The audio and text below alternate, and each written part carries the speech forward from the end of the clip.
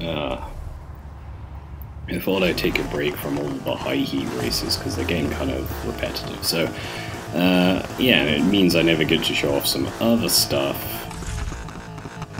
And I got these cool, like, drift cars that I, like, kind of like the design of that I did a while ago. Uh, I just kind of wanted to show quickly this game's drifting. it's very simplistic. It's just, yeah, you got a combo. Uh, you get numbers as you drift, and you gotta be drifting in the right direction because otherwise the game freaks out. And uh, you get a proximity bonus if you're too close to stuff. And if you hit it, you lose your whole combo. That's it. That is the whole game's drifting system. And it doesn't count uh, it doesn't care if you smash through things that are breakables like this, but if you touch anything solid, it will drop your combo to 1 again. And you can go off-road, you can do whatever. I think the numbers are counting basically, from my experience, it seems to be the speed, the length of the drift, and that's it it doesn't seem to really, like the proximity bonus is the only other thing, and I don't know what the bonus actually applies, it just says proximity bonus, and it could be like just adding a flat number on top, or it could just be like a secret additional multiplier, I don't know.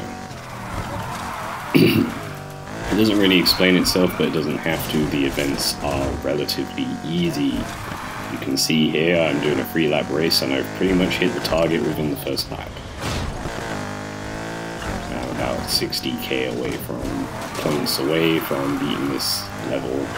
And if you have a car with enough power in it like this Corvette, which is very cool, uh, and it's slidey enough, you will be fine.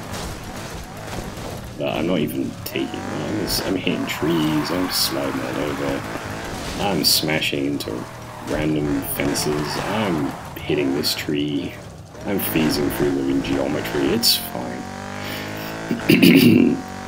yeah. Uh, yeah. So I like this car. I like the, what I've done with it, if I do say so myself. I like the paint job. I like the bodywork. I like the sound it makes. I like the fact that it drifts. I made this car because I found that my RX-7 was starting to feel a little underpowered, but not really for the events. I can use my RX-7 and beat every event. What I can't do is use my RX-7 to consistently freestar every single activity that's a drift zone in the game. There's not many drift zones in the game, but some require some specific things from you, so I'll just kind of quickly talk about that, I guess. Some of them require really high uh, things in a very short, like singular turn, and if you want to get like its length and speed of the drift, so if you want to do some of those drift zones, you need a powerful car that will just power through the corner, and the RX-7 tends to bottom out and spin, or just have to do lots of mini drifts around one big sweeping turn because it can't get enough speed up without you nossing into the uh, corner so it's not, you need something a little more powerful after a while. Um, so I made this car to combat that. Just kind of span out there, had to itch my face. So yeah, you know, uh, I made this to combat that, and uh, I still got some drift stages to complete, to be honest, because some of them, uh, some, like one of them, there's literally like one or two in the entire game that are off-road drift stages. So they're basically saying, nah man, create a car and spend a load of time grinding up a car, and they don't tell you which car they want you to use, they just say, find a car that we decided was good for drift and good for off-road, and it's just a random car. I don't think it's the Mitsubishi Lancer that I've been working on to try and do that, so I don't know what it wants from me. Like, do you want me to drift a pickup truck? Like, don't think I can.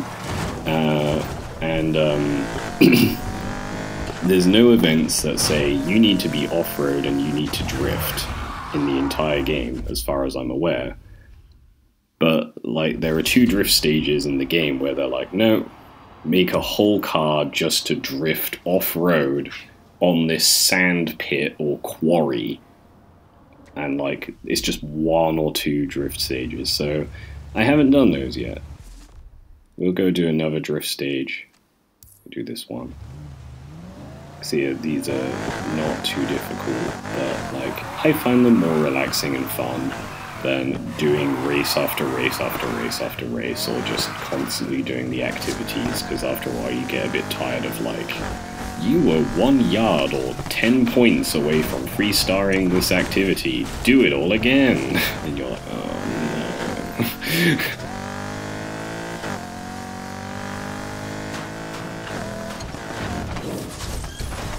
Now you could make the Corvette a race spec and it would also be very fun to drive. Uh, I just decided to make a drift one because I only have two drift cars in the whole game, so including this one. I'm also looking into doing more off-road cars, but like there aren't many events of that either, so.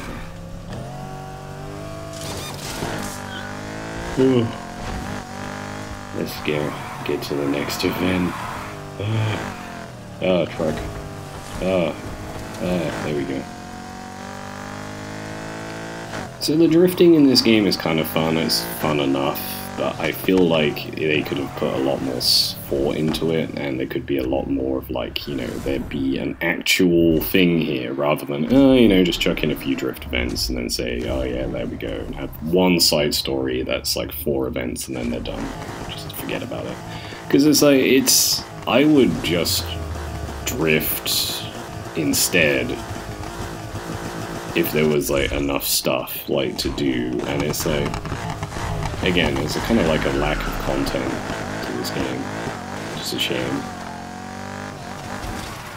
I miss uh, to be honest uh, I feel like my favorite game for drifting was Grid 1 because they really put some effort into like I mean I don't know if it holds up now because uh, when I played that it was like 2009 2008 I can't remember when that came out. And I was playing that game, and like they did a whole like Japanese street setting thing, and like like separate areas for you to do it, and had a Japanese commentator uh, like announcing what you were doing as you were doing it, and they had a lot of like UI elements that made it look quite complicated and stuff. And I remember, like, honestly liking a lot of the management elements of Grid 1, which they then stripped out for Grid 2. and then it just kind of disappeared, whereas, like, you can choose your teammate, you can buy cars, you can, like, buy cars on eBay, you can change your team name, you can change your team livery, and, like, a lot of this stuff got kind of cut out for Grid 2 and simplified a lot, so that was a shame. So I was enjoying that.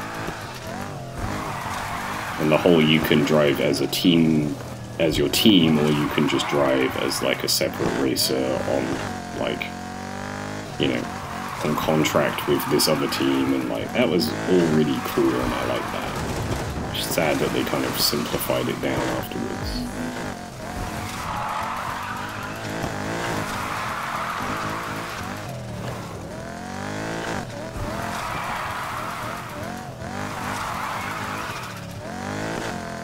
Know a lot of games now have drift elements to them. I played a game, I played uh, my friend's version of Forza, and they have some drift elements in, uh, like, what was it, Forza 6, Forza 7?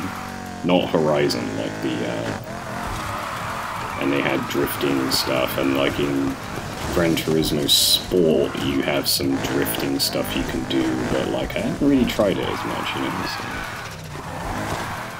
Oh well, the underpowered there, let's get some speed up this corner. See, it's not really particularly hard to hit the goals I'm looking for here. Whoops.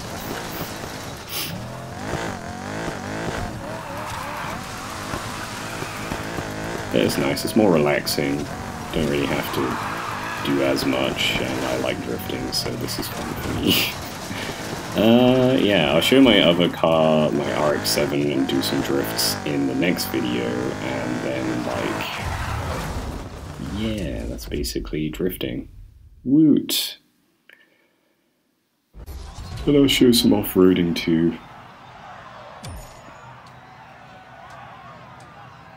Hmm.